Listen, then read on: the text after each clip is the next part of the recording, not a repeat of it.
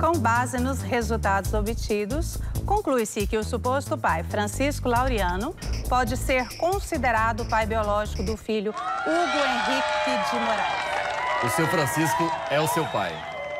Então, obrigado vocês.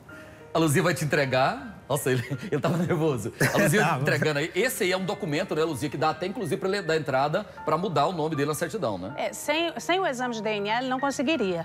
Não é isso? Ele deve ter já um processo aberto e agora ele, ele precisa acrescentar esse resultado, anexar ao processo.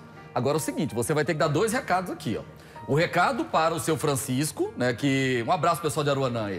Uh, uma, para o seu Francisco, que agora ele é o seu pai biológico, é comprovado. E para o seu Marcondes, vão ficar com ciúme, porque agora você vai ter dois, dois pais, né, pai, né? Vai, vai, dar um recado para os dois ali. Ah, vou ser filho dos dois. Vou... Para o seu Francisco primeiro, o que você fala para ele? Uai, o que eu tenho que falar para ele é... Assim...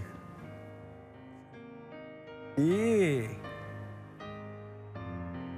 Ah, Considero ele já como um pai, já desde antes, já. já considero. E pro seu Marcondes? Ah, vai continuar sendo meu velhinho, hein? Fica com ciúme não, meu seu Marcondes. Agora o Hugo tem dois pais. Boa sorte para você. Obrigado. Né, que esse exame realmente é você né? É, busca aí dois pais. Isso é, é motivo de orgulho para todo mundo, né? É dois pais. Boa sorte, muito obrigado aqui, obrigado viu? Obrigado a você. Luzia, obrigado, viu? Obrigada, Mário. Tudo de bom. A Luzia do Laboratório Biocroma trazendo aqui mais um resultado, esclarecendo uma dúvida que o Hugo tinha e a família dele também, né? Aqui no Balanço Geral.